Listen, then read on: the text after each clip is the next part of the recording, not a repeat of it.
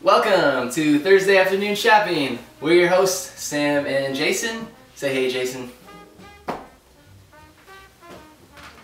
Um, well, if you're just tuning in, we have a great product for you today.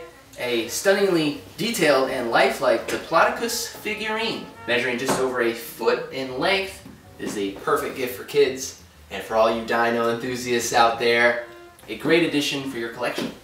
So, people actually collect these things. Um, All right. yeah, yes, yes they do, All right. Jason. Fucking Stupid, but no matter because this Dilapa, Di- Dilopicus, it actually has many layers of detail, including a uh, rich and fine-tuned texture with some coloring as well. So, uh, for only 1995, uh, this uh, DeBlock ass. Okay, Jason, it's pronounced Diplodocus. Hmm. We went over this. Like I was saying, this the Dilopicus. Jason, it's Diplodocus. Longest of the sauropod dinosaurs, lived in the Jurassic period. Did you research this at all? No, why would I research a stupid toy? Okay, it's not a toy.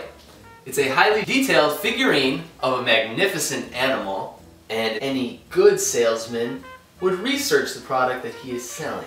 But I guess you wouldn't know anything about that. Wait, so you're calling you're calling me a bad salesman? Yeah. Are you kidding me? I could sell more of these in two hours than you could in a year. Well, that is obviously not true, because as of right now, I've sold a grand total of. We- We haven't sold any yet? Well, I really am a good salesman. When I worked at Fridays, I made top seller six months in a row. You would work at Fridays, nerd. So I'm a nerd now? No, you you you've always been a nerd. Why? Because I worked at Fridays? Uh, no, because you like dinosaurs and the whole employment of Fridays thing doesn't help either. Well, listen here, Abercrombie. We'll see who's the nerd when I make a fat bonus from this show for selling all these Diplodocuses. Yeah, well, you're gonna have to sell one first. You know what, pal? I've worked with a lot of people at this network, but you are by far the biggest jerk here. That's cool because you know what? I really don't give a fuck. Jason, we're, we're on TV. You, you can't say fuck. Fuck. Now look what you've done.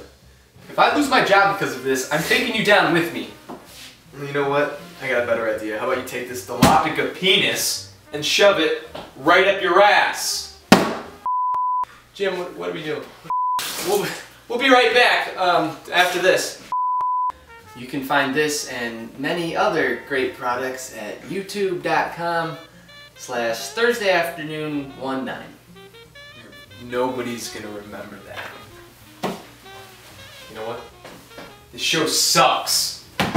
Hey! Why did you do that?